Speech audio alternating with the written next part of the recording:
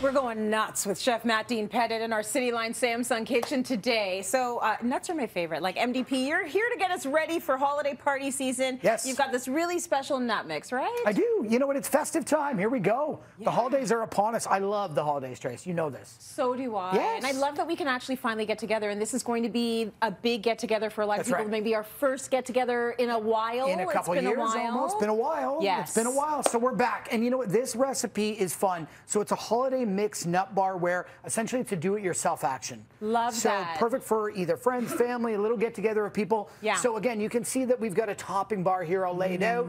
I've got you set up with your own creation, so I want you to have some fun. But first, Let's jump over to mine here. Yes. So I've set the oven to 325 because we're going to roast all of our nuts. Yeah. So starting off, I've got a little bit of hulled pistachios. Lovely. So again, we're we're healthy. Let's tell like let's tell the world. Our well, City like Line can fam be knows this. sometimes healthy. So we're doing a bit of both. A we're gonna we're starting with some healthy, you know, proteins here Mm-hmm. in our nuts, but we're gonna have and they're good fats. I'm using pistachios. Oh my God, they're amazing fats. They're lot- amazing. You know, especially for folks that aren't getting like meat sources of protein. 100%. You need to have a lot of nuts and legumes in your in your diet. Absolutely.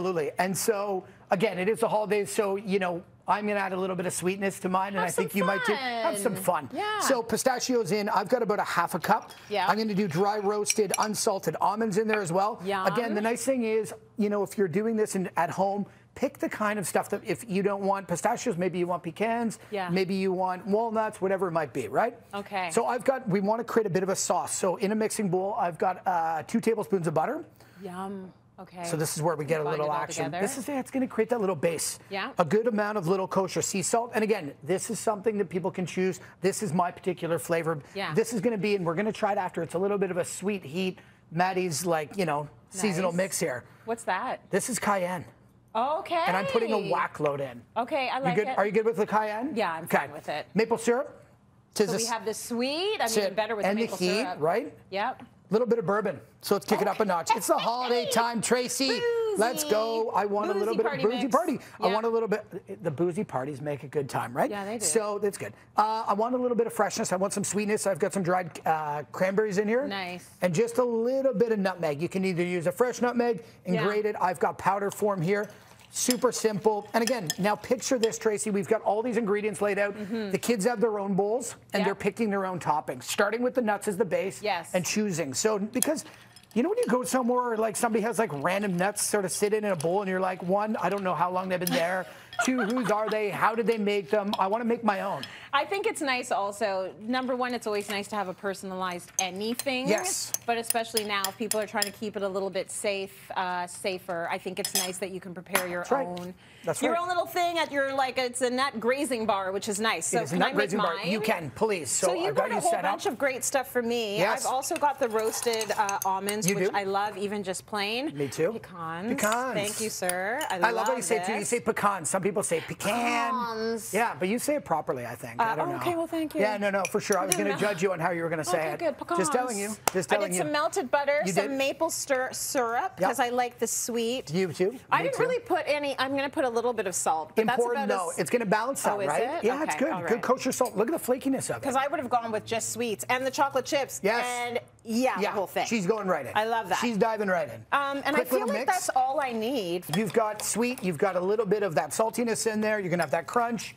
She's going Just right joking. in. So we'll put this to bake. This is Tracy's side. This is MDP's side. oh, my side is good. Right? MDP. I- well, uh, they look pretty good. Look at their nice little coverage here. Look at this Very little. nice. So I'm going to pop this into the oven here, uh, and I want to keep rotating them every 10 minutes. I want to sort of spoon them over Okay. for about 35 minutes, 35 to 40. Got it. So, every 10 minutes you're going in. So about I'm three times in. during the time they're in there, exactly. you're giving them a little mixy mix. And if you can see here, let me just show you. So again, Power of TV. These Yeah. are mine. Those are yours. Look at that chocolatey little butter goodness on that.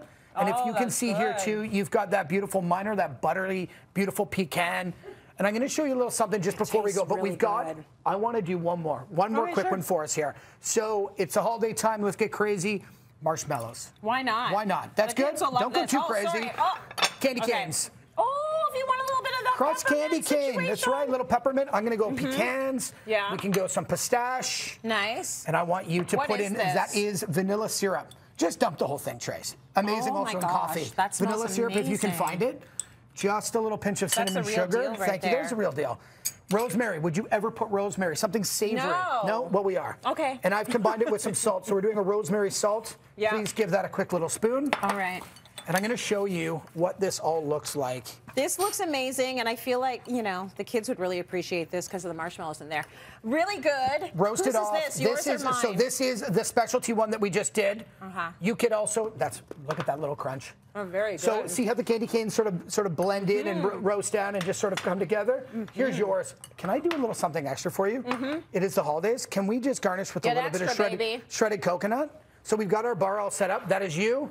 This is Isn't me. pretty? What about sprinkles on top, even if you wanted? You go for that, and I'm going to tell Thank them you. how they can uh, find all of this good stuff. We're putting the recipes, of course, online. His recipe and his topping ideas at cityline.tv. It looks beautiful. And you. remember, if you ever have a question for one of our chefs or any of our experts, email us at submissions at cityline.tv or scan that QR code on your screen right now because we love to help you. That's why we're